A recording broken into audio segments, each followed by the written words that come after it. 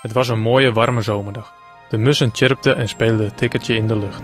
Duiven vlogen tussen de bomen en de meeuwen koesterden zich in het zonlicht. De open plek in het bos was vol met leven en kleuren.